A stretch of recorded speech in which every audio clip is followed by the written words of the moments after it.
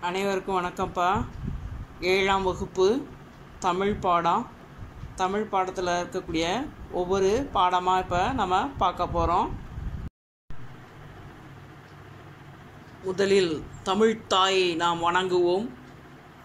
தங்கத் தமிழை தட்டில் வைத்து தந்தனத்துவம் என பாடியே தமிழை போற்றி புகழ்ந்திடுவோம். தமிழராய் வாழ்ந்திடுவோம். செம்மொழியாம் தமிழ்மொழி அத்தமிழை உலகி உலகின் முதன்மொழி. முன்னோர்கள் வளர்த்த பொன்மொழி போற்றுவோம் அதன் பெருமையை. உலகில் தொன்மையானது நம்முடைய தமிழ்மொழி. மென்மையும் இனிமையும் வளமையும் உடையது. வாழ்வுக்கு தேவையான அன்பையும் அறத்தையும் கூறுவது காலத்திற்கு ஏற்ப இளமையோடு திகழ்வது அத்தகைய தமிழ்மொழியின் சிறப்பை நாமக்கல் கவிஞர் பாடல் மூலம் அறிவோம். இவர்தான்ப்பா நாமக்கல் கவிஞர். இவர்தான் எங்கள் தமிழ் என்ற ஒரு மிகச்சிறந்த பாடலை பாடியுள்ளார். அந்த பாடப்பகுதி தான் உங்களுக்கு தரப்பட்டுள்ள பாடல் எங்கள் தமிழ் ஆசிரியருடைய பெயர் நாமக்கல் கவிஞர் வே. ராமலிங்கனார். பாடல் பார்க்கலாமாப்பா? அருள்நெறி அறிவை தரலாகும் அதுவே தமிழன் குரலாகும். பொருள் பெற யாரையும் புகழாது போற்றாதாரையும் இகழாது. அருள்நெறி அறிவை தரலாகும். அதுவே தமிழன் குரலாகும். பொருள் பெற யாரையும் புகழாது. போற்றாதாரையும் இகழாது. கொல்லாவிரதம் குறியாக. கொள்கை பொய்யா நெறியாக. எல்லா மனிதரும் இன்புறவே என்றும் இசைந்த இசைந்திடும் அன்பரமே.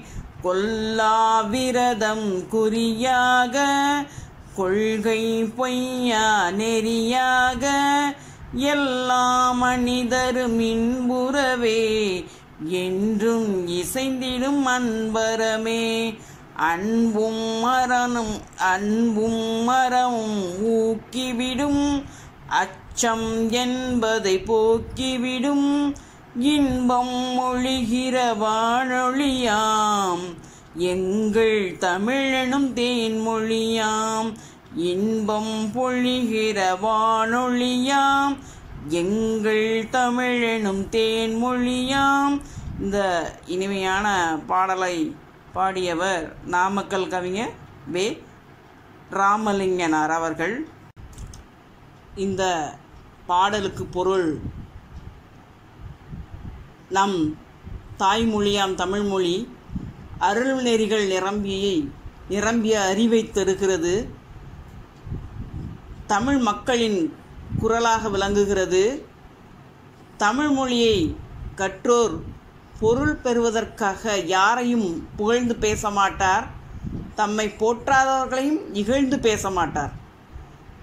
கொல்லாமையை குறிக்கோளாகவும் பொய்யாமையை கொள்கையாகவும் கொண்டு எல்லா மனிதர்களும் இன்புற்று வாழ அன்பும் அறமும் உதவும்.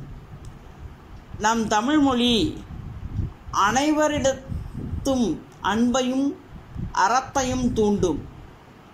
அஃது அச்சத்தை போக்கி இன்பம் தரும். எங்கள் தமிழ்மொழி தேன் போன்ற மொழி. பாடலாசிரியரை பற்றி பார்ப்போம். நாமக்கல் கவிஞர் ஐயா தமிழ் அறிஞர் கவிஞர் விடுதலை போராட்ட வீரர் என பன்முக தன்மை கொண்டவர். காந்தியத்தை பின்பற்றியதால் காந்திய கவிஞர் தமிழகத்தின் முதல் அரசவை கவிஞர். இவர் எழுதிய நூல் மலைக்கல்லன். நாமக்கல் கவிஞர் பாடல்கள் என் கதை சங்குலி போன்ற பல்வேறு நூல்களை எழுதியுள்ளார். மற்றும் ஒரு பாடல் கத்தியின்றி ரத்தமின்றி யுத்தம் ஒன்று வருகுது என்ற பாடல் உன்னுடைய பாட புத்தகத்தில் கொடுக்கப்பட்டுள்ளது. அதையும் நீ பாடி பழக வேண்டும். பாடல் கீழே சொல்லும் பொருளும் கொடுக்கப்பட்டுள்ளது. வாசித்து பழக வேண்டும்.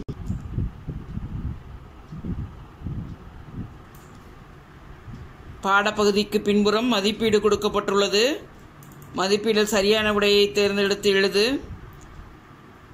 நாம் அறிக முதல் எழுத்து ஒன்று போல் வருவது போல் சில பயிற்சிகள் கொடுக்கப்பட்டுள்ளது. இந்த பயிற்சிகள் முன்னால் கொடுக்கப்பட்டுள்ள பாடங்களை நன்கு வாசித்து ஒரு முறைக்கு இருமுறை வாசித்தேனால் நிச்சயமாக தாய்மொழி தமிழ் நிச்சயமாக விடை உன்னால் கண்டுபிடிக்க இயலும். அதேபோல் குறு வினாக்களும் சிறு வினாக்களும் கொடுக்கப்பட்டுள்ளது. கேள்வியை பலமுறை வாசித்து பதிலை கண்டுபிடி. நன்றி வணக்கம்.